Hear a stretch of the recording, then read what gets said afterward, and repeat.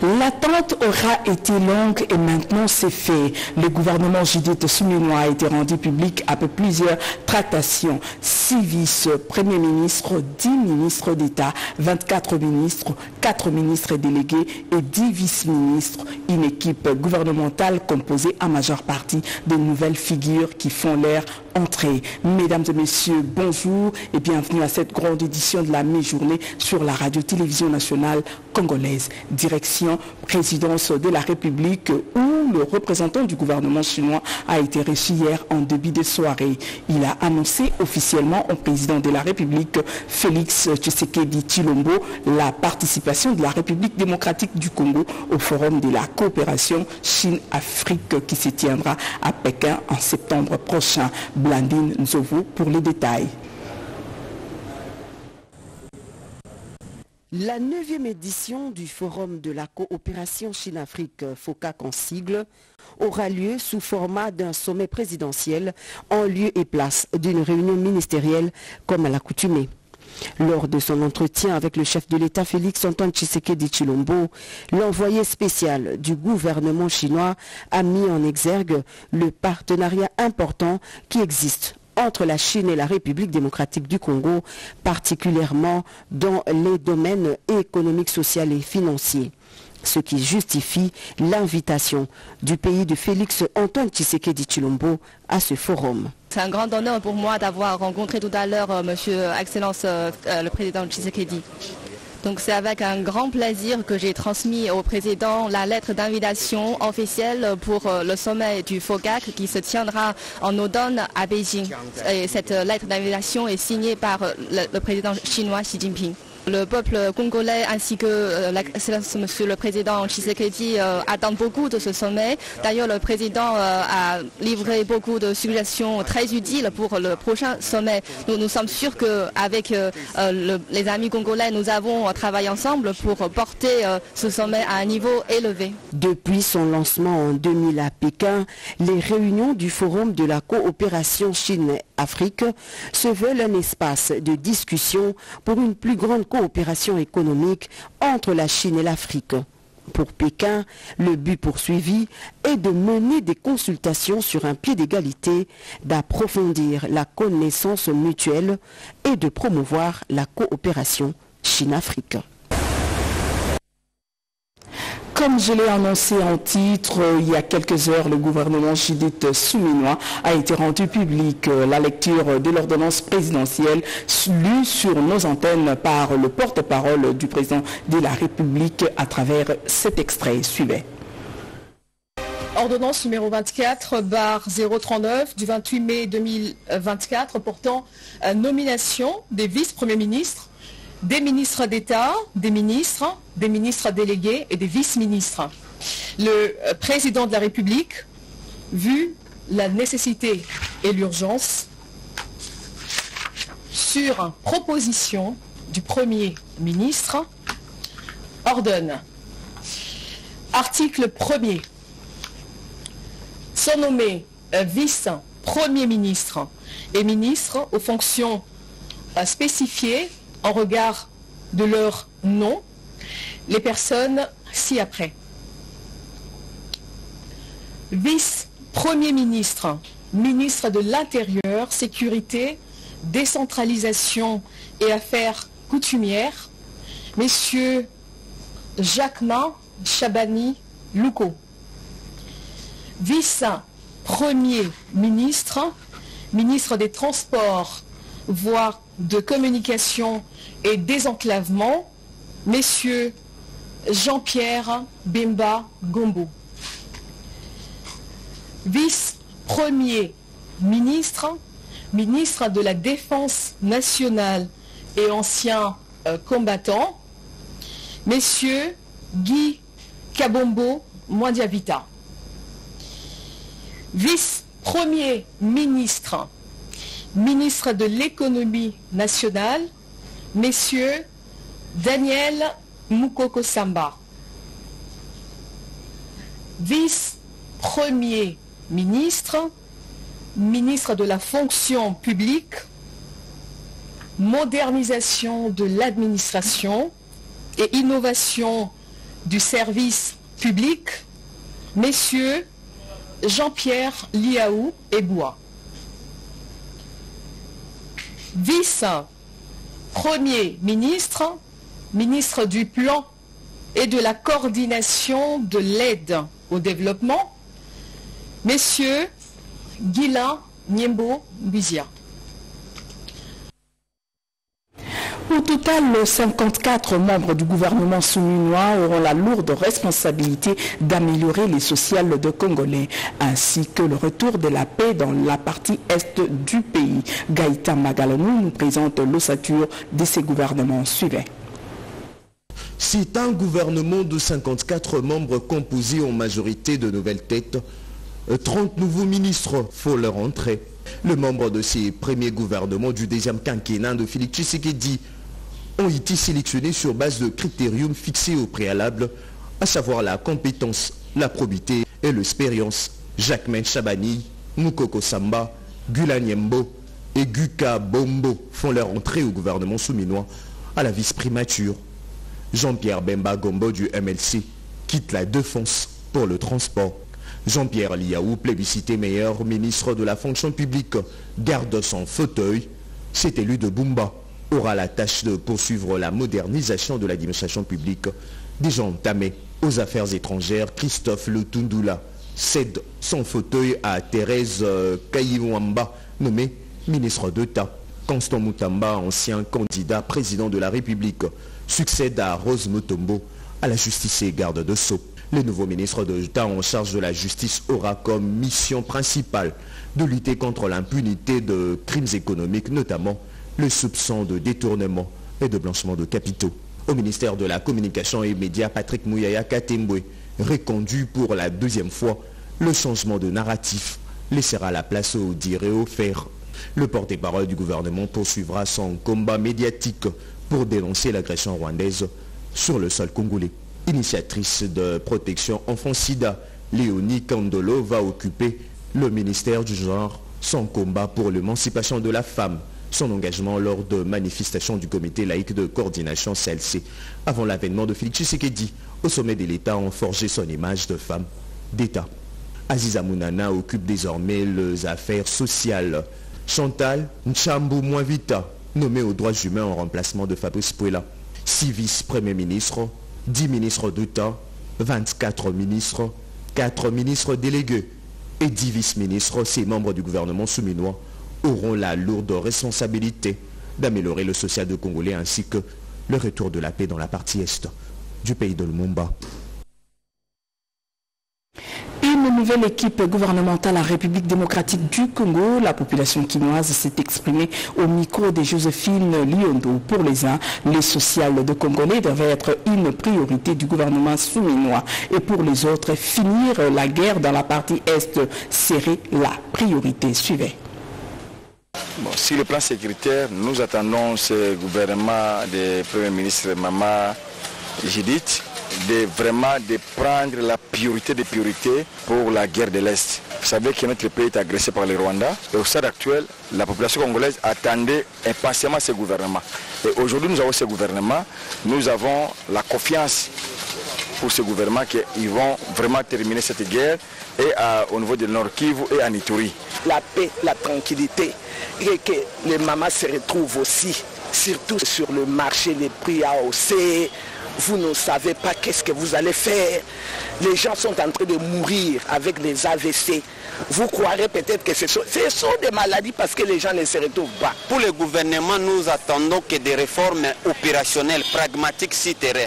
Pas des discours, pas des, des gens qui viennent seulement flatter, pas de démagogues. Nous voulons déjà opérationnel. gouvernement abongisela biso mamu nyonso baministère nyonso ezala bien ndenge baministère mosusu tokola bamoka mosusu etambolaka ministre ya transport asala bamosenge ma batransport ministre ya finance asala bamosenge ma bafinance ministre ya économie asala bamosenge ma économie Euh, moi, j'attends d'elle qu'elle puisse euh, euh, honorer le nom de la femme parce que plein de gens discriminent la femme, on ne respecte pas la femme, on émancipe la femme, la femme n'est pas honorée. On dit toujours que comme c'est la femme, tout ne va pas bien se passer, mais nous, on attend qu'elle puisse honorer notre nom, que tout le monde puisse dire aussi que la femme, elle est aussi capable. De ce gouvernement qui vient de sortir, nous attendons euh, beaucoup de choses. L'amélioration des conditions de vie et aussi de travail de fonctionnaires et agents de l'État. La publication du gouvernement fait la une de la plupart des journaux parus ce matin à Kinshasa. Jean-Pierre Ndolo Demazou a résumé quelques articles dans la revue de presse. Suivez.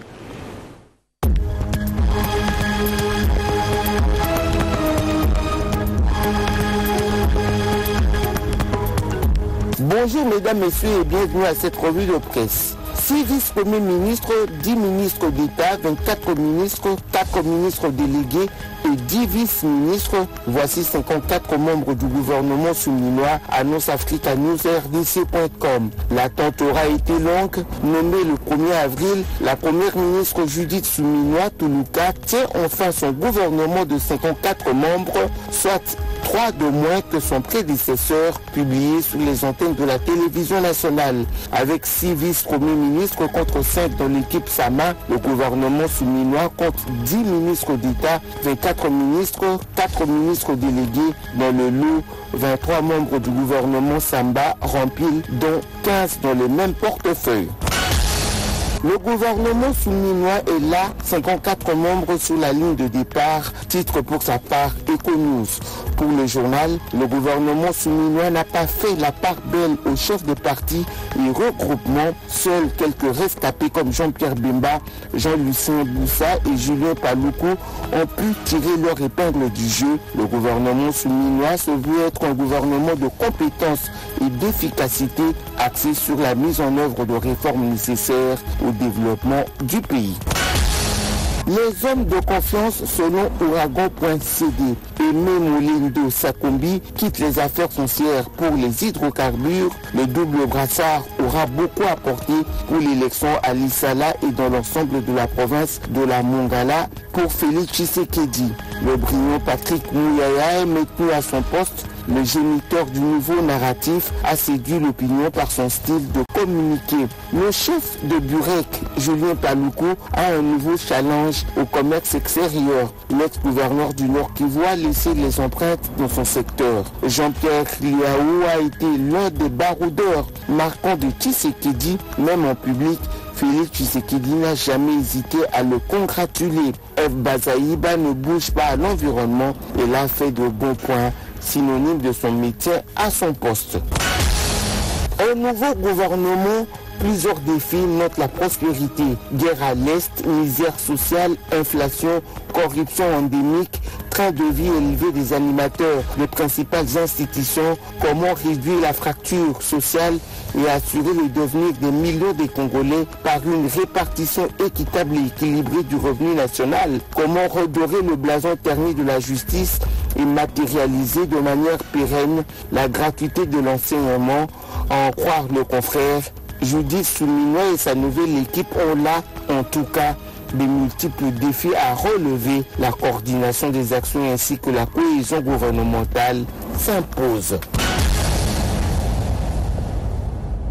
Et au chapitre de la justice, le pasteur Pierre Kassambakana, alias pasteur Kass, chef spirituel de l'église primitive, risque 20 ans de prison plus la fermeture de son église.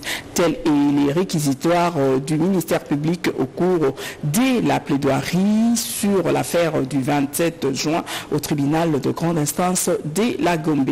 Ses avocats clament l'innocence de leurs clients et réclament son acquittement. L'affaire a été prise en délibéré et le verdict est attendu pour le, 20, le 7 juin prochain. Manon Mansekou pour le reportage.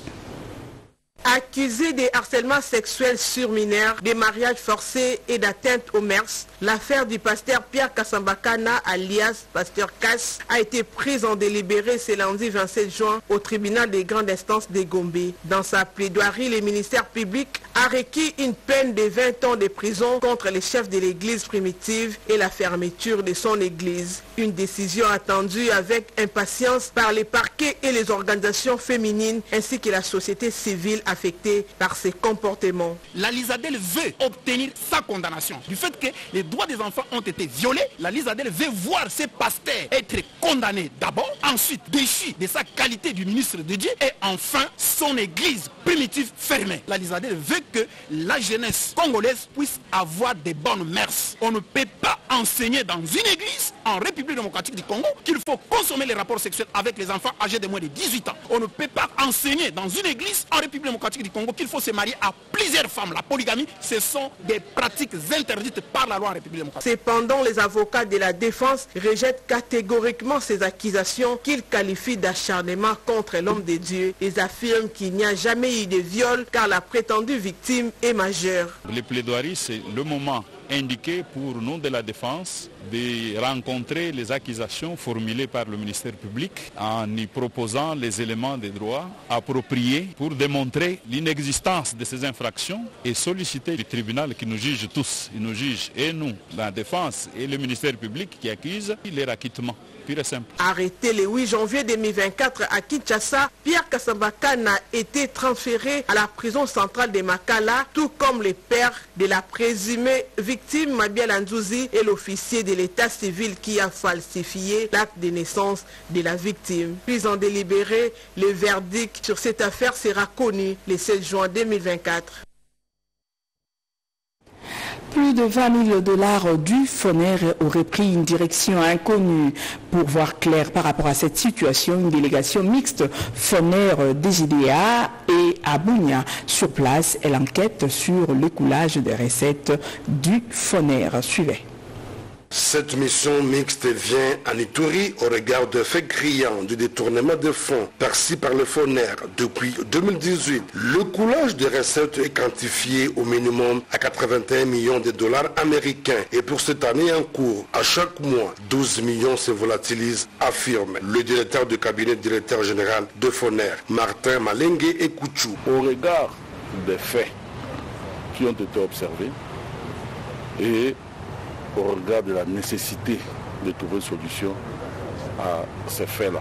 Le fait, c'est quoi? C'est le coulage des recettes du FONER. De 2018 à ce jour, le FONER n'a pas vu dans ses caisses 81 millions de dollars. Et 80 millions de dollars auraient servi à beaucoup dans cette province. Par la composition de délégation et par le soutien que son Excellence a apporté au travail que nous sommes venus faire, nous sommes certains que si on ne, prenait pas, on ne reprenait pas tout, on reprendra quand même une bonne partie de cette somme d'argent. Les prédateurs sont ceux qui se sont évertués à combattre jour et nuit. Le tas de siège renseigne le commandant des opérations et gouverneur de l'Itouri. Mais je ne pouvais pas m'imaginer vraiment pas qu'il y a des individus qui prennent autant d'argent. On nous dit que cette année, c'est au moins 12 millions le mois. La plupart des travaux que nous faisons ici en ce qui concerne les nationales, c'est la province qui le fait. Et donc nous dépensons presque, c'est même plus de la moitié, je peux dire deux tiers, si je compte aussi les routes euh, urbaines ici. Face à cette malversation financière de grande échelle, l'autorité provinciale annonce des poursuites judiciaires à la contre des auteurs. Donc je suis l'homme le plus heureux parce qu'aujourd'hui,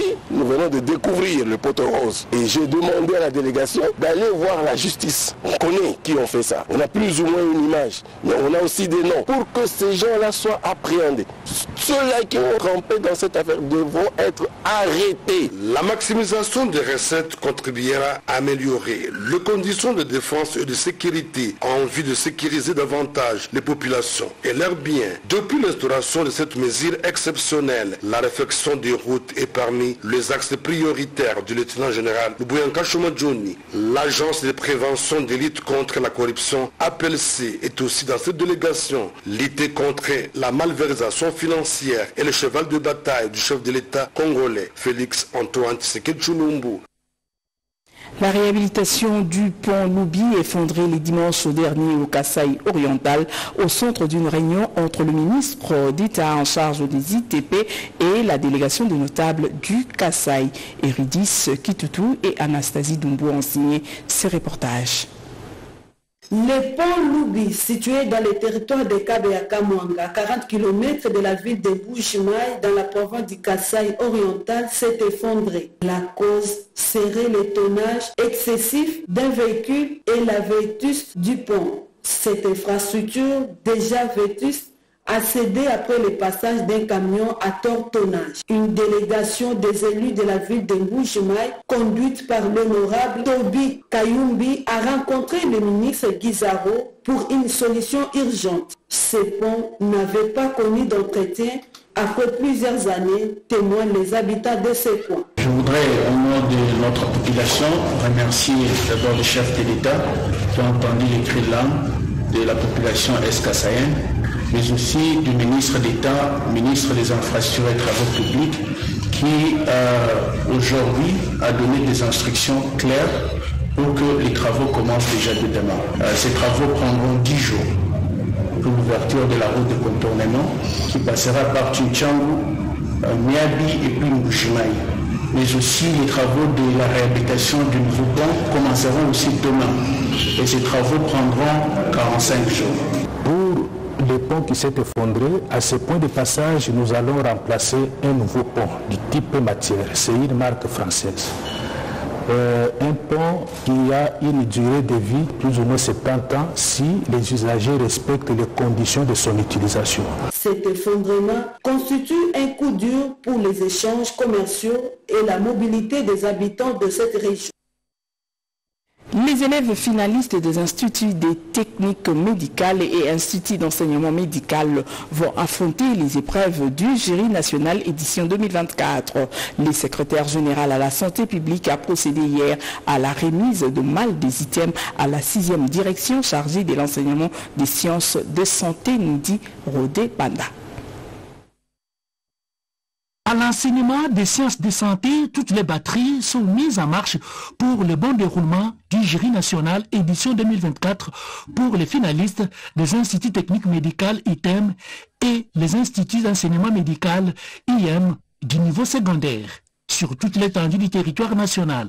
La remise des mâles des items, c'est mardi, par le secrétaire général ad intérim à la santé publique, hygiène et prévention, Josué Désiré Bapitani, à la sixième direction en charge de l'enseignement des sciences de santé, en est une preuve éloquente.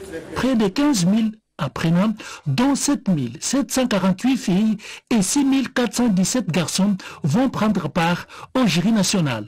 Pour le secrétaire général intérimaire à la santé publique, toutes les dispositions sont prises pour que tous les apprenants finalistes du Nord Kivu et ceux de l'Uturi qui sont aujourd'hui déplacés de guerre participent aussi à cette épreuve nationale. Et chaque province a une marge.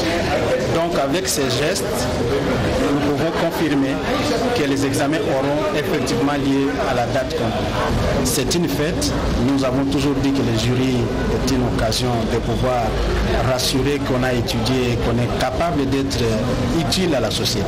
Tout le monde est convié, y compris euh, ces écoles qui sont en situation malheureusement de déplacement. Signalons que ces mal d'items seront déployés dans les 26 provinces dès la semaine prochaine. Les apprenants finalistes des items et IM ont donc rendez-vous le 24 juin prochain pour la passation du jury national durant quatre jours. Le VIH reste un problème de santé publique et il faut renforcer les systèmes de collecte des informations pour atteindre les objectifs. Pour ce faire, une formation de matin de plusieurs zones de santé a été organisée par iPad, nous dit Bobette Inga. Dans cette salle d'Africana Palace, médecin-chef de zone, point focal VIH et data manager de 18 zones de santé appuyés par PEPFAR sont depuis ce mardi 28 mai en formation sur la gestion de l'information VIH dans le cadre du renforcement du système de santé. C'est un projet qui vient en assistance technique au programme national de lutte contre le sida. Et comme on l'a dit, le domaine d'intervention, c'est la production de l'information stratégique. La donnée procure l'information, l'information permet d'orienter les décisions.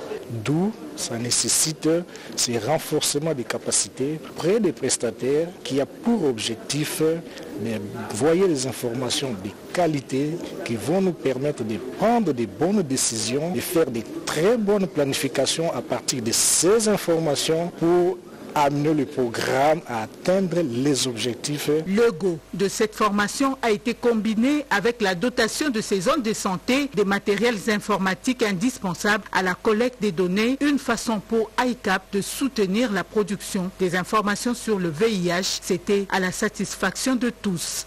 En fait, c'est un sentiment de gratitude, un sentiment de joie euh, envers euh, ICAP, envers nos autorités également sanitaires. hein. Il faudrait que l'information passe. Donc le VIH qui demeure encore un problème de santé publique mérite notre attention et un bon, un bon système de, travail une bonne gestion des données. Plusieurs modules sont au programme de cette formation de 4 jours organisée avec l'appui de ICAP.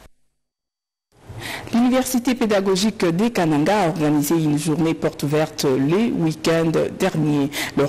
Les personnalités qui ont pris part à cette activité ont pu constater l'engagement de cette université à s'adapter aux exigences de la mondialisation. Suivez.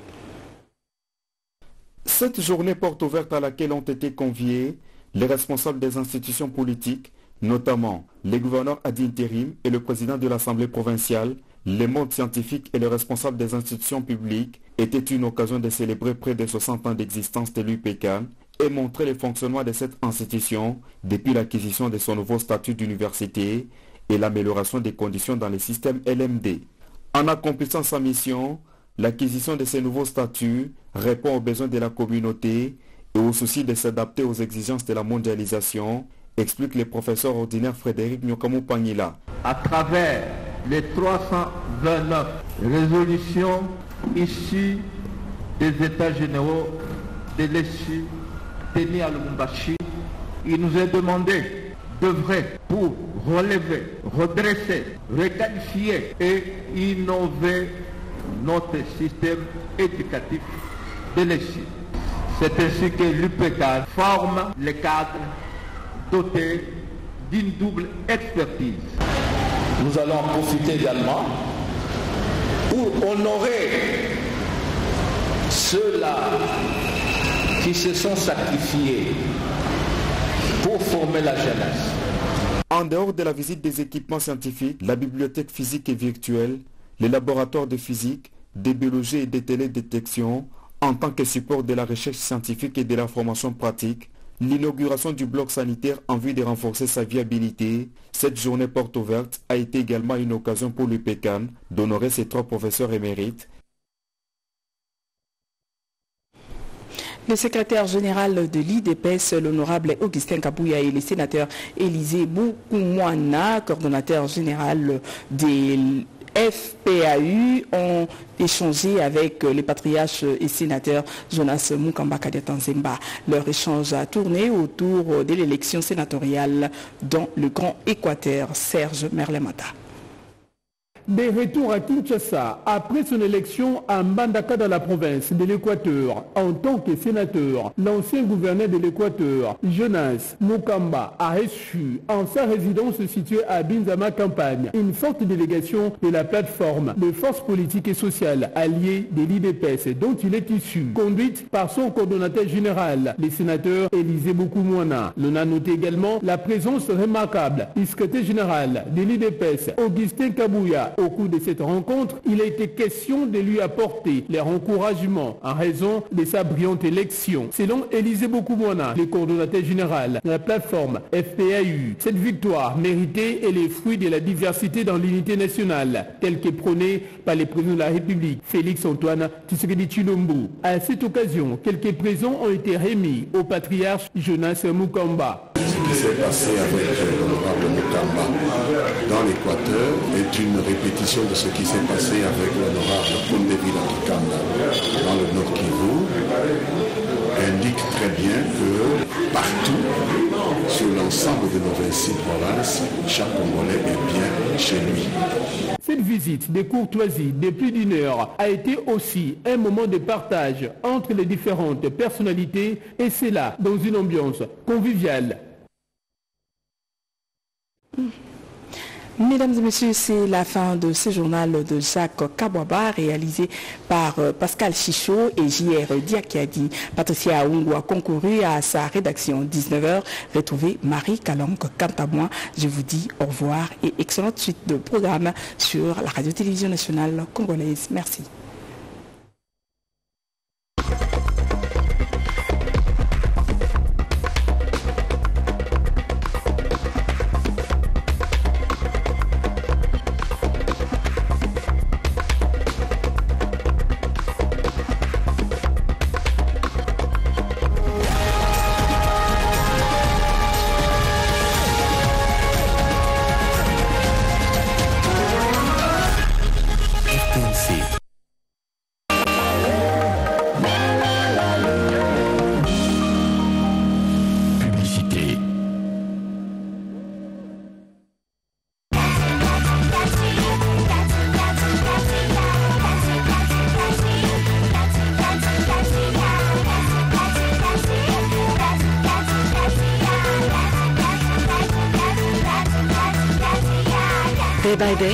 De soie hydratant pour les petits et les grands pour une peau douce et soyeuse au quotidien. Le lait Day by existe en 4 senteurs.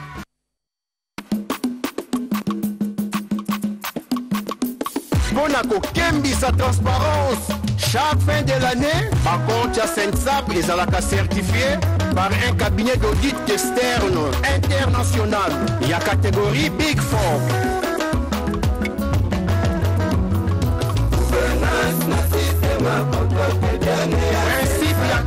ya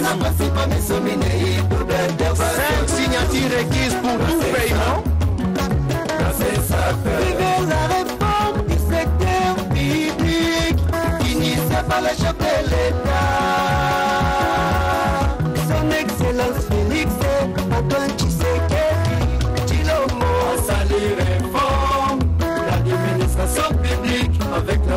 la promulgation de la loi numéro 22 031. du 15 juillet 2022 portant régime spécial de sécurité sociale des agents publics de l'État. SENSA. Gouvernance na contrôle éternel à sensa. Évandé na passé pas mes somminés, double intervention toujours. Na sensa. Na sensa. Fiduciaire collégiale mpona kogere baexcédent financier na biso toza na 5 niveau ya validation. Unité de placement comité d'investissement comité de placement des excédents financiers. Basyndicaliste ya fonction publique. Étape ya suka ye moko tutelo son excellence vpm jean-pierre liaou. Na sensa, on est vraiment.